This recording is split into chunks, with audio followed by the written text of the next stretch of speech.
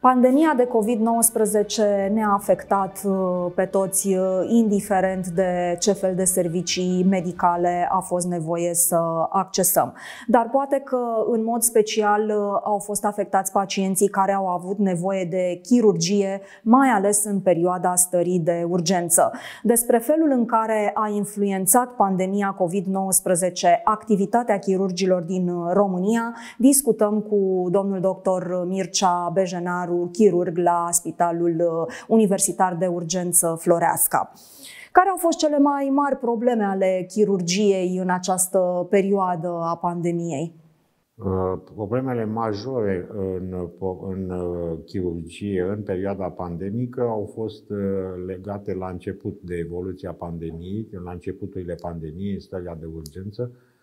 când uh, existau puține echipamente de protecție pentru chirurgi și pentru pacienți și în momentul în care urgențele erau uh, de o gravitate crescută, era necesar câteodată să îmbrăcăm acele combinezoane și acele măsuri de protecție, să luăm acele măsuri de protecție pentru chirurgi, în așa fel încât să nu mai așteptăm apariția testelor pozitive, fie ele pozitive, fie negative, rezultatelor testelor, ținând cont de faptul că urgența primează, adică un bolnav care este în uh, instabilitate hemodinamică, deci pierde sânge extern sau intern, sau un bolnav care este în șoc septic sau este victima unui accident de circulație cu un politraumatism de grad înalt de gravitate, nu, se mai ține, nu, se mai, nu s-a mai ținut cont. Și atunci a, a existat o oarecare dezechilibrare în tipul nostru de acțiune al Spitalului Floreasca, în Spitalul Floreasca și atunci uh, uh, greutățile au fost legate de apariția sau non-apariția rezultatelor pozitive sau negative a testelor respective. Bineînțeles că au fost la risc și chirurgii și s-au îmbolnăvit uh, pe rând de infecția cu SARS-CoV-2 mai mulți chirurgi și personal medical din cadrul spitalului. Au fost în rândurile noastre și victime ale acestui virus, SARS-CoV-2, și chirurgii respective au stat în carantină în izolare 14 zile cu tratamentul de rigoare, antitermic și, anti, și de protecție pulmonară, în așa fel încât la ieșirea din carantină să poată să fie testați și să iasă rezultatul negativ. S-a făcut și anchetă epidemiologică legată de bolnavii de contact sau uh, colegii care au fost în acele echipe de gardă. Am pățit și noi într-o gardă de-a noastră anul trecut în toamnă, când din echipa mea de gardă un doctor s-a îmbolnăvit, dar după terminarea gărzii și atunci toți am fost testați și s-a constatat că noi cei care am fost în echipă cu acel doctor nu ne-am infectat. El a stat 14 zile la domiciliu, în izolare, cu tratamentul adecvat și lucrurile au mers înainte. Totuși, secțiile de chirurgie au fost rând pe rând închise din uh, cauza acestui coronavirus. Cum ați făcut față volumului de muncă, cei rămași? Uh, lucrurile au fost destul de triste pentru noi. Noi, cei de la Spitalul de Urgență, suntem obișnuiți să muncim zi, lumină, 24 din 24, 7 pe 7. Așa ne-au format cei mai în vârstă, cei mai în vârstă și profesorii renumiți ai acestui spital. Și s-a întâmplat ca uh, două secții în spitalul nostru să, de chirurgie să fie închise pentru aproximativ două săptămâni și gărzile spitalului să fie preluate de celelalte două secții care nu au fost infectate. Pacienții din secțiile infectate au fost tratați până au fost externați, bineînțeles făcându-se, făcându-li se teste repetitive pentru a se vedea dacă pot fi externați sau nu pot fi externați. Ceea ce este foarte curios este că bolnavi cu cancer, cancer pancreatic în ultima vreme fiind foarte des operat uh, la noi în secții, uh, bolnavi care au, s-au internat cu test negativ, după 3-4 zile post-operator au devenit pozitivi și atunci uh, s-a făcut anchetă epidemiologică în interiorul salonului, pe secții și s-a văzut Uh, care a fost uh, răspândirea, răspândirea pacienților afectați de SARS-CoV-2. Ulterior,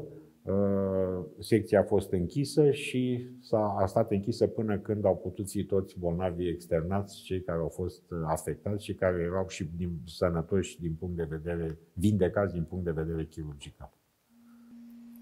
Dar în momentul de față, care este volumul pacienților non-COVID în spital?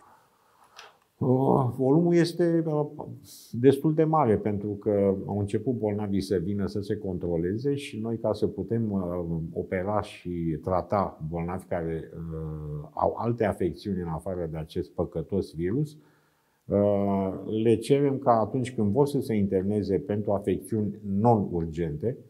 respectiv neoplazii, să-și facă testul în ambulator și atunci când se internează să se interneze în așa zisa zonă verde, în felul acesta ocolind zona neutră numită izolator, unde pacienții așteaptă aproximativ 24 de ore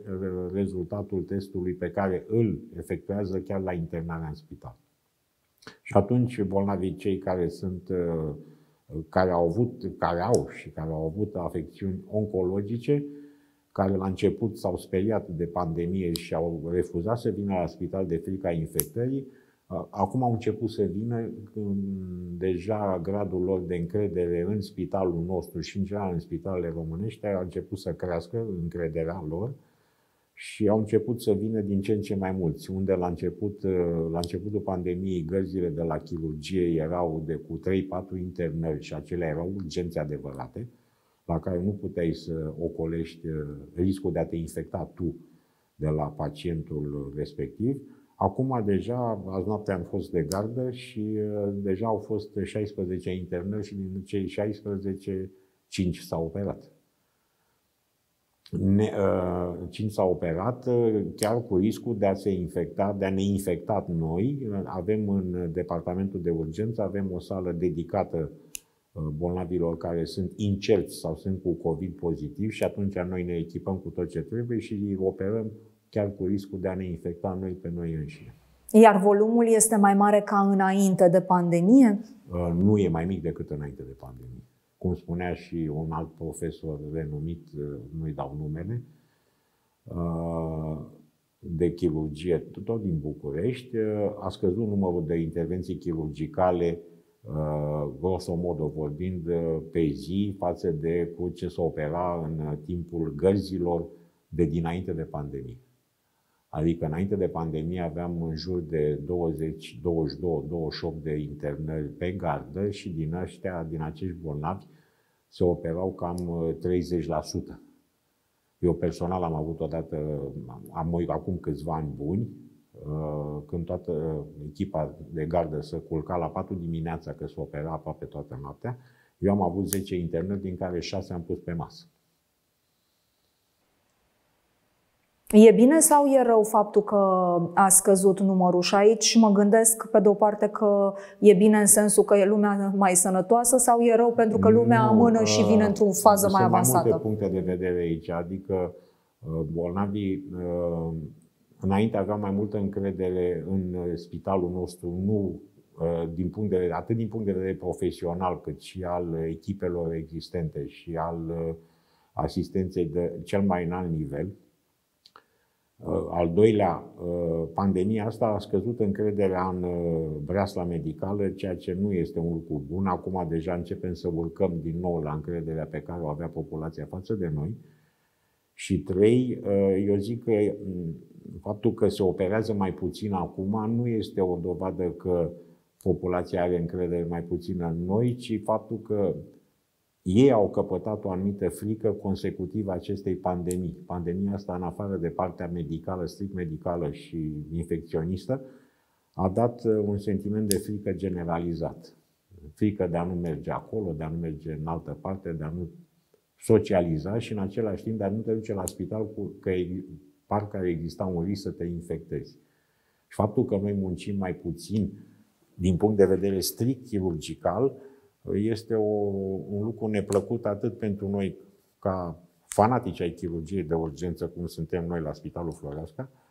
ă, ne necăjește lucrul ăsta că gărzile sunt mai ușoare din punct de vedere chirurgical. Această împărțire a spitalelor în COVID și non-COVID a dăunat, pe de o parte, chirurgilor care au stat pe bară, ca să spun așa, mă refer la cei care erau în spitalele COVID. A dăunat pentru sufletul lor interior de chirurgi. Pentru că un chirurg care nu operează o zi, două, zici, domne, în prima zi sunt obosită, în a doua zi mai citesc ceva, dar dacă se întâmplă să, ghilimele, să stai pe bară o lună, două, ă, apare așa numită a depresia chirurgului, care nu e bună deloc, pentru că este limitativă față de uh, posibilității și față de sufletul tău de chirurg care te-ai format în a vedea și a face bine